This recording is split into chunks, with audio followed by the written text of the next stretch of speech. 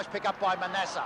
Manassa runs into lots of trouble, can't break away. Well done. Atkinson, great tackle again. Down it goes towards Kink. Cleverly across to Manassa. A great hand pass to Thompson. And Thompson Yes. goes through, punches the ball through the legs of Polkinghorne. Uh, Barham there, cops run for his corner. Put through, Manassa. And Teasdale's kick to centre wing. Round for South Melbourne. And from the back, Gross. Great handball upfield. Barham. Kick to centre half forward. A great mark was taken by Manassa.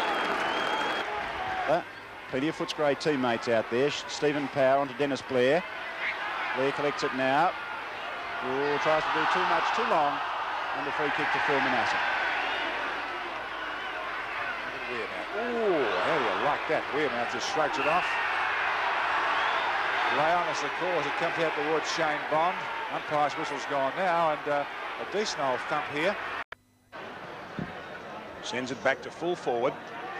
In front, Collingwood. That'll be a mark. He gets his hands on it. He's one of the best marks in league football. And he's kicked a goal. And upfield, Thompson. Now Manassa. Half forward, Carman with South.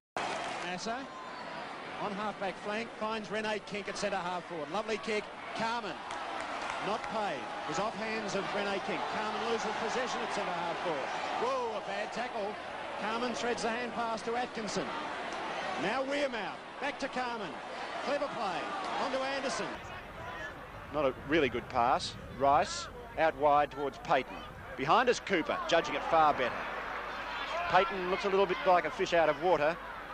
Manassa, been a grand player, Collingwood's best defender, and there have been plenty of them.